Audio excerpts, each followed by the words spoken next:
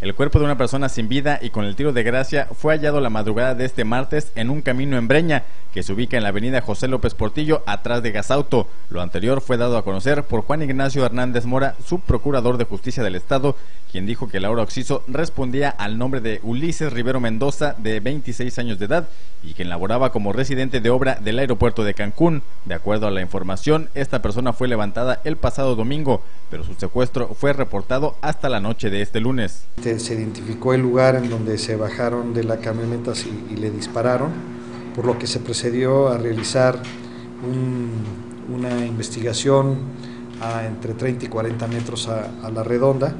hasta llegar a un cercado con, con, alambre de púas de tres líneas y a un costado de este se observó el cuerpo de una persona de sexo masculino, identificado como Ulises Rivero Mendoza, de 26 años.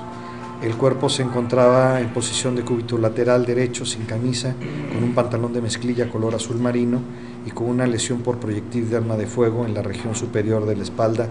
del lado derecho. En el lugar se encontraron dos cartuchos percutidos calibre 38 super color plateado y se procedió al levantamiento del cadáver. Familiares del sujeto que fue hallado sin vida con el tiro de gracia acudieron a la Procuraduría para reclamar el cuerpo, informó el entrevistado, quien manifestó que hay avances en las investigaciones y que se sabe que los autores de este homicidio pretendían cobrar un rescate y tenían intenciones de quedarse con una camioneta Tacoma propiedad de la empresa donde laboraba Ulises Rivero Mendoza. Con imágenes de Germán Espiridión, informó para Notivisión Alejandro García.